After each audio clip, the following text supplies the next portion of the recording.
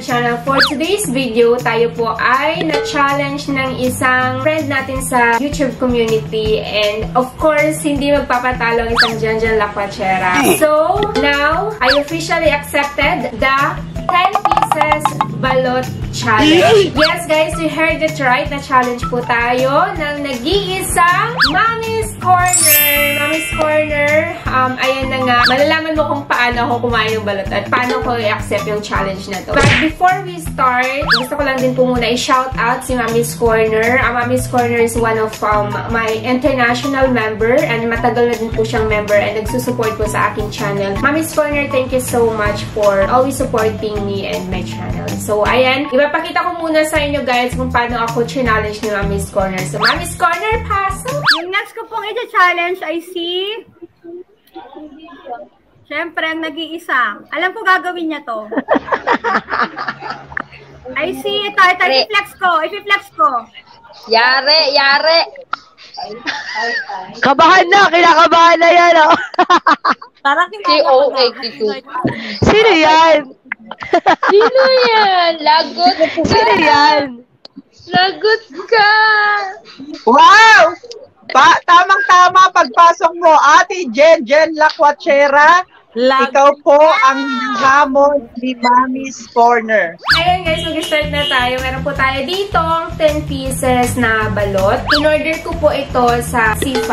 Online ko siya in-order sa Facebook. Ang pangalan po ng kanilang shop ay Balot Online Delivery by Jazz. Kasi po dito guys sa Taytay, meron mga nagba nagdadalas ng balot, nag naglalako ng balot pero it's too late na and ayokong kumain ng balot ng sobrang late na. So much for that. Of course, meron din tayo ditong cucumber, mga pipino po. Ah, ito pong pipino ay all the way from Nueva Ecija, dala ni Binoang po. And of course, meron tayo dito, ihaw, ihaw. Kita kami nagkumain ni Jessa for the whole day. So ngayon pa lang kami magdi-dinner. So let's start. I hope you guys mag-enjoy kayo dito sa ating mga challenge. Samahan niyo na ako guys, kumain na din kayo ng inyong mga pagkain dyan para hindi kayo magutom. So magkakamay lang ako guys, pero bubuksan ko muna to kasi para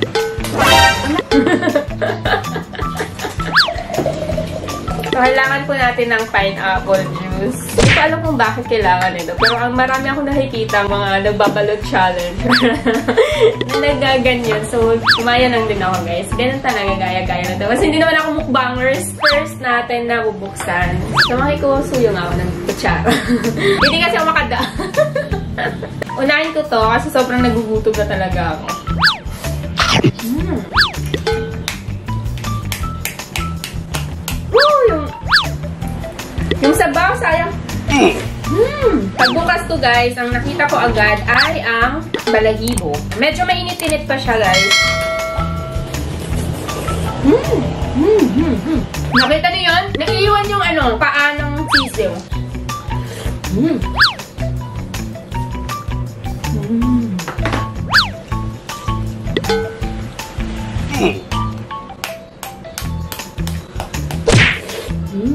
Pangalawa. Mm.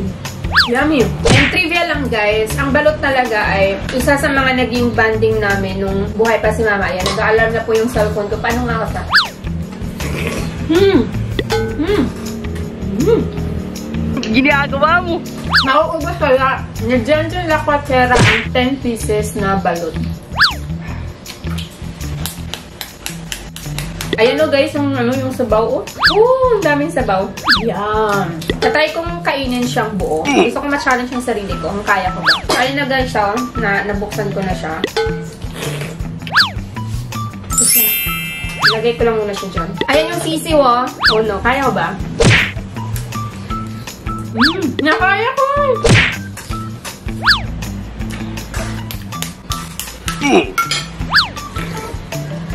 sarap. Buksan ko na guys. Magbukas na ako ng medyo madami-dami. Para diretso kain ko. Ito na mga dalawa.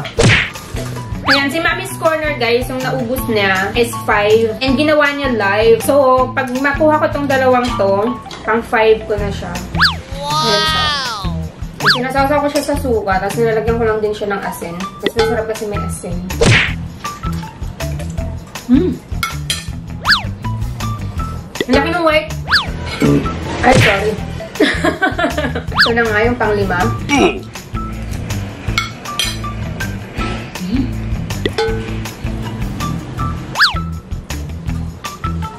Ngayon mo na ako ng barbecue. Umay ako.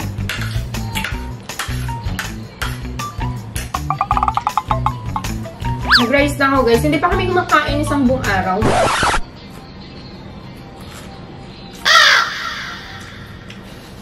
Nakalimang balot na ako guys. So ngayon kumakain na ako kasi parang umay ako. Meron po tayo ditong dugo, balon-balunan, tenga, pork, barbecue, isaw. So, syempre, favorite ko ng isaw. Hindi ako masyadong maano, ma-pork. Mhm. Ayan yung pang 5. I'm on my way para sa aking pang 6.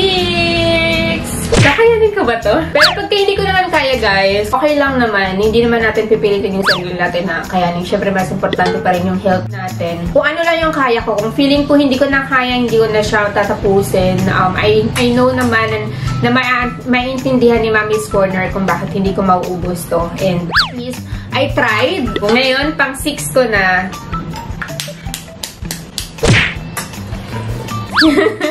Ilan kaya mauubos ni Jenjen La Quachera? Hula kayo guys! Ang makahula, may 50 pesos kay Jessa. Sinangkala naman yung kapatid. hmm.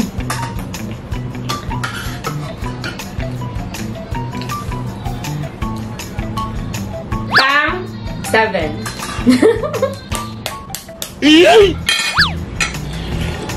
Ito na guys, pang 7. Mm.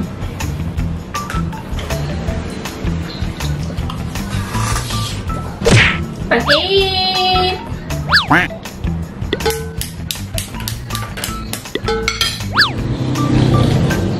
Pala pagka hindi na masyadong mainit. Umay ako guys. So parang feeling ko hanggang 8 lang ako. Kung na makakahula ba, kung ko pang 10.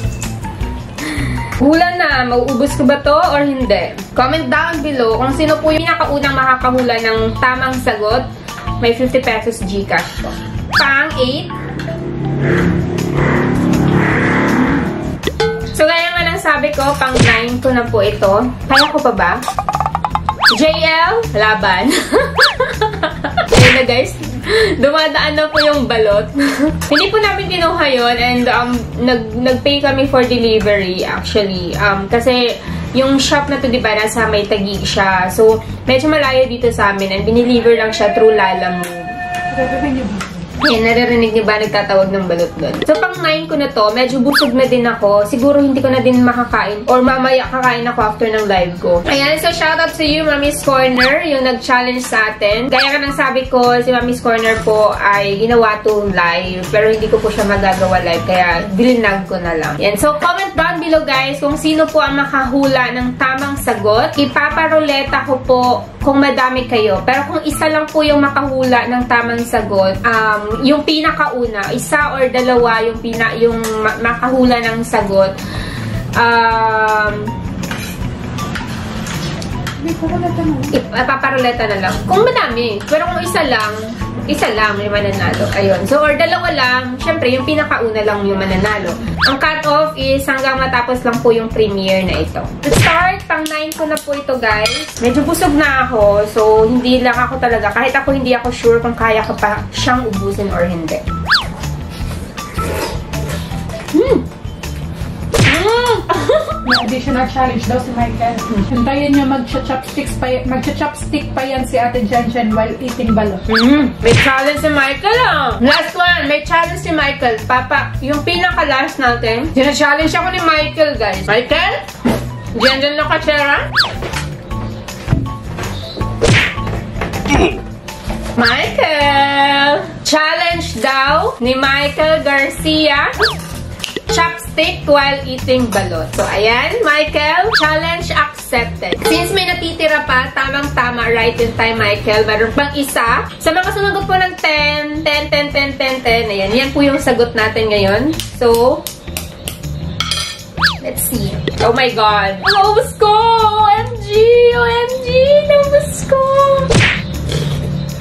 Naumay na ako sa ano? Sa sabaw. Hindi na siya mainit eh. Last one, Michael Garcia eating balot using chopstick. Challenge accepted. Mmm. Mmm. Mm.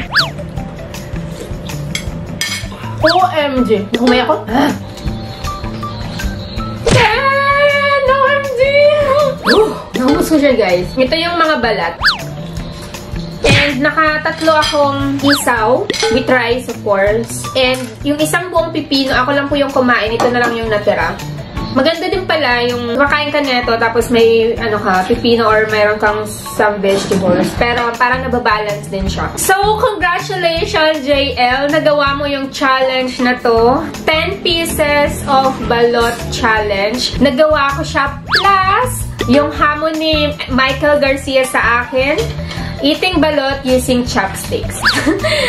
thank you so much, guys. And thank you so much, Mommy's Corner, for um, challenging me.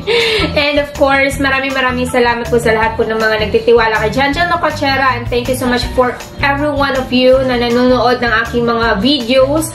I really appreciate you guys and thank you so much for always supporting me until now. So that's it for today's video guys. Thank you so much for watching. But before that, of course, hindi naman po pwedeng hindi natin mapasa yung challenge na to. So meron po ako ditong series of names. Bubunod po ako ng isa and siya po ang pagpapasahan ko po ng challenge. Kung sino ka man, sana ay maubos mo din ang 10 pieces balot.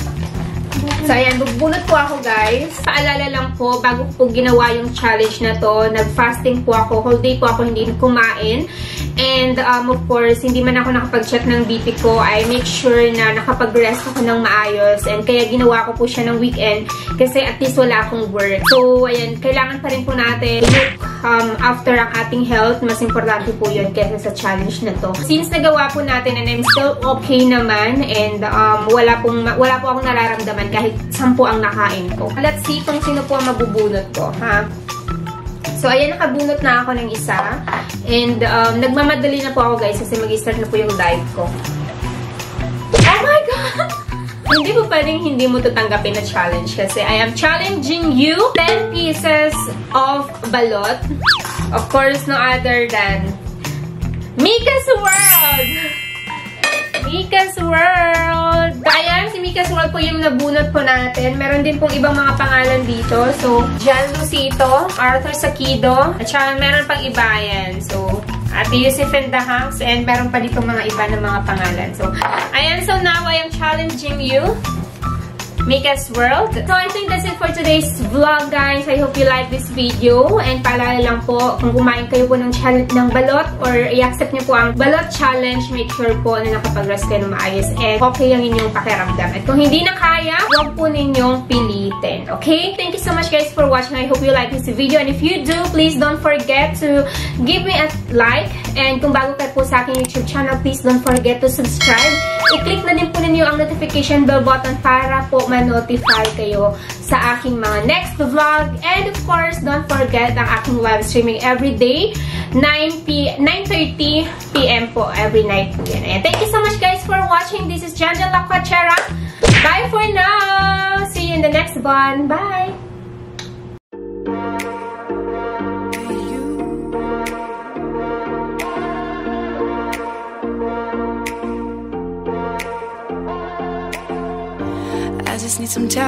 To get things clear now. To get rid of my doubts, to get rid of my fears.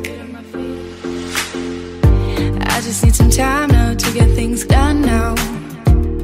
Things I things I want.